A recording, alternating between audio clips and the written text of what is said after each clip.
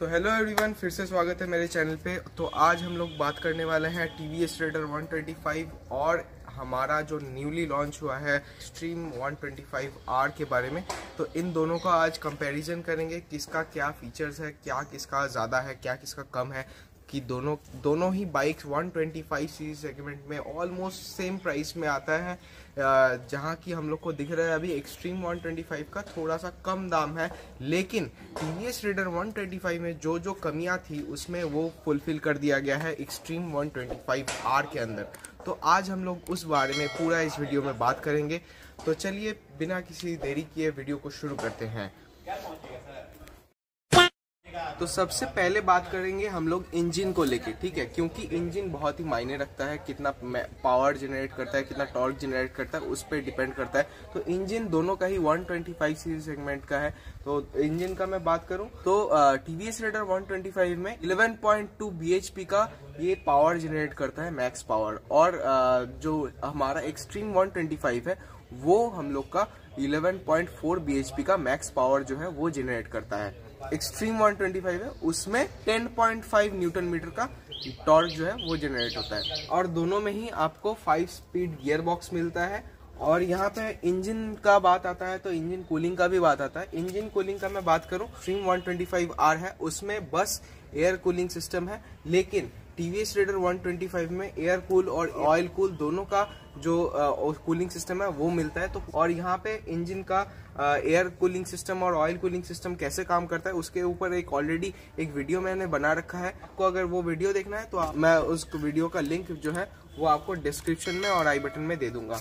तो अभी मैंने इंजन का बात किया तो इंजन के साथ और एक चीज़ मायने रखता है, जो कि है वेट टू पावर रेशियो ठीक है?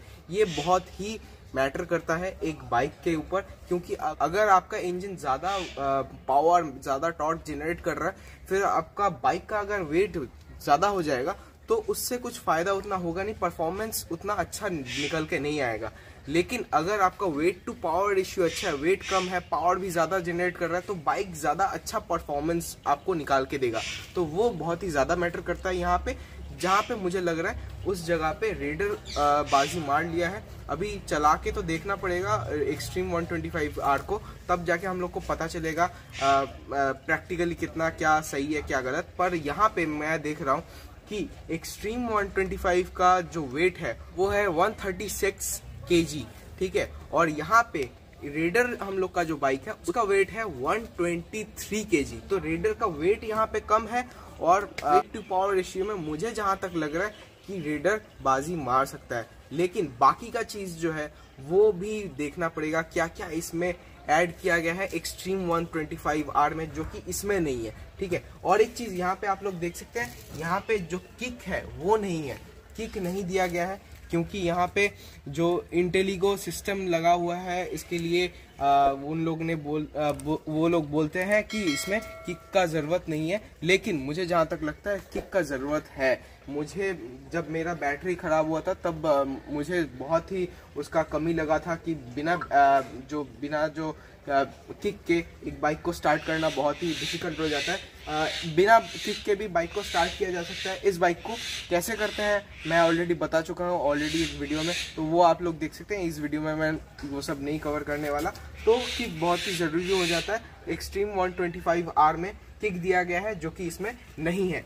और एक चीज़ मैं दिखा दूँ, जो कि एक्सट्रीम 125 का, देखो लुक्स के हिसाब से मैं बोलूँगा लुक्स के हिसाब से बहुत ही अच्छा एक्सट्रीम 125 जो है, वो बहुत ही अच्छा किया गया है। ये 125 सीरीज़ सेगमेंट में ये भी बहुत अच्छा जब निकल के आया था तो ये बाइक भी रेडर 125 बहुत ही चला था, क्योंकि ऐसा फ्यूचरिस्टिक लुक के साथ और इतना फ्यूचरिस्टिक जो कि टेक्नोलॉजी है, इसके साथ अच्छा बाइक नहीं निकला था 125 सीसी सेगमेंट में, पर अभी फिर जो एक्सट्रीम 125 आर लॉन्च हुआ है, बहुत ही अच्छा लुक्स के साथ निकल के आया है।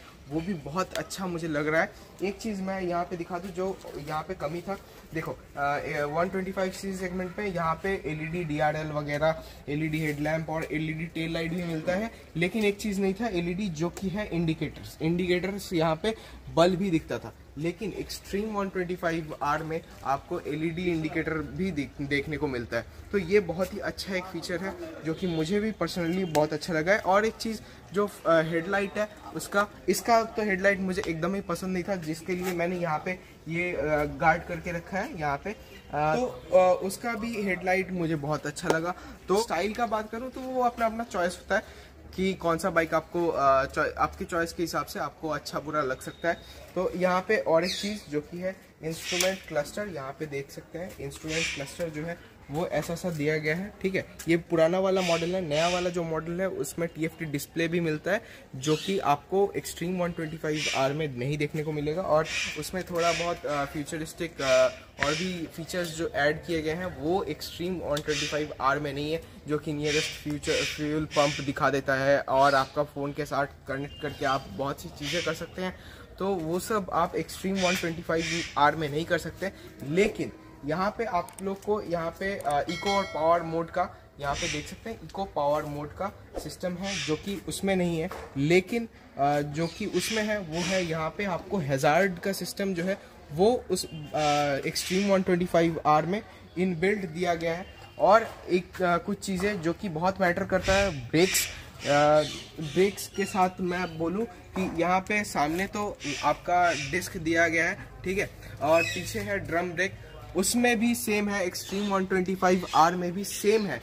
डिस्क सामने डिस्क और पीछे ड्रम ब्रेक लेकिन उसमें ए दिया गया है, जो कि 125 सीसी सेगमेंट में इस बाइक में नहीं था। वो उसमें दिया गया है। ठीक है?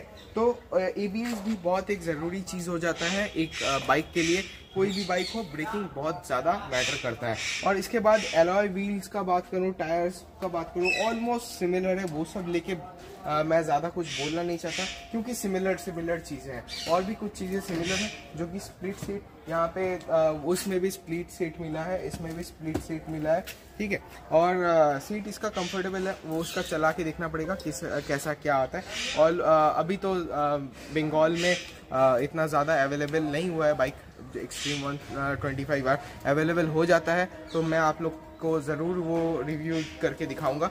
हाँ और एक चीज़ जो होता है सीट हाइट सीट हाइट बहुत ही मैटर करता है, क्योंकि यहाँ पे देखो सीट हाइट जो है, उसकी वजह से ग्राउंड क्लियरेंस जो है वो बहुत ज़्यादा मैटर कर जाता है। क्योंकि इस बाइक में मुझे एक प्रॉब्लम होता है, जो कि है भाई इसका जो सीट हाइट है ग्राउंड क्लियरेंस है, वो कम है। इसकी वजह से मुझे दिक्कत हो जाता है भाई इसका जो डबल स्टैंड है ना, ये लग जाता है स्पीड ब्रेकर आने पे ये लग जाता है। तो इसका एक उपाय भी है इसको ठीक करने का, जो कि मैं किसी और वीडियो में बताऊँगा रीडर का। लेकिन जो एक्सट्रीम 125 आर है, उसमें जो ग्राउंड क्लियरेंस है, वो थोड़ा ज़्यादा मिलता है आपको। तो स्पीड ब्रेकर में आपका जो जो डबल स्टैंड है, वो नहीं लगता है। तो ये बहुत ही अच्छा एक अच्छा चीज़ है एक्सट्रीम 125 आर में।